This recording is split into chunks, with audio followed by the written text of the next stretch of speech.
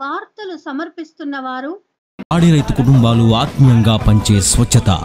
శ్రేష్టమైన కరీంనగర్ డైరీ పాలు పాల పదార్థాలు ఇప్పుడు మన రామాయంపేటలో.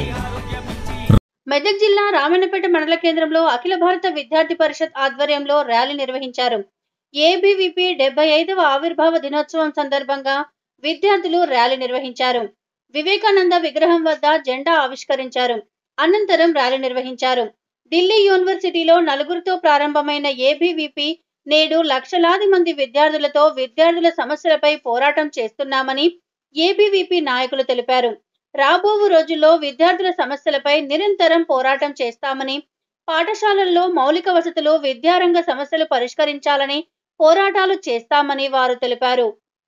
అఖిల భారతీయ విద్యార్థి పరిషత్ రామాయంపేట శాఖ ఆధ్వర్యంలో డెబ్బై ఐదవ ఆవిర్భావ దినోత్సవాన్ని పురస్కరించుకొని స్వామి వివేకానంద విగ్రహం వద్ద ఏబీపీ జెండాని ఎగరవేయడం జరిగింది. పంతొమ్మిది వందల నలభై తొమ్మిది జూలై తొమ్మిదిన ఢిల్లీ యూనివర్సిటీలో ప్రారంభించినటువంటి అఖిల భారతీయ విద్యార్థి పరిషత్ ఈరోజు ప్రపంచవ్యాప్తంగా చూసుకుంటే నెంబర్ వన్ స్టూడెంట్ ఆర్గనైజేషన్ ఏదైనా ఉందంటే అఖిల భారతీయ విద్యార్థి పరిషత్ అని చెప్పుకోవచ్చు.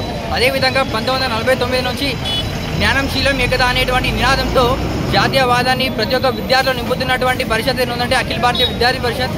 అదేవిధంగా మన భారతదేశానికి అత్యున్నతమైనటువంటి స్థాయిలో ఉన్నటువంటి నాయకులను కూడా అందించింది అఖిల భారతీయ విద్యార్థి పరిషత్. ఈరోజు మన తెలంగాణ రాష్ట్రంలో ఉన్నటువంటి అనేక విద్యార్థి సమస్యలపైన పోరాటం చేస్తుంది. అదేవిధంగా స్కూల్లో కావచ్చు వాళ్ళ మౌలిక వసతుల మీద కావచ్చు వాళ్ళ యొక్క డిగ్రీ విషయంలో కావచ్చు అదేవిధంగా పేపర్ లీకేజ్ల ఘటన మీద కావచ్చు ఏ ఒక్క సంస్థ కూడా ఈ విధంగా వ్యవహరించదు. అఖిల భారతీయ విద్యార్థి పరిషత్ విద్యార్థుల కోసం అనుక్షణం పోరాటం చేస్తూ ఉంటుంది.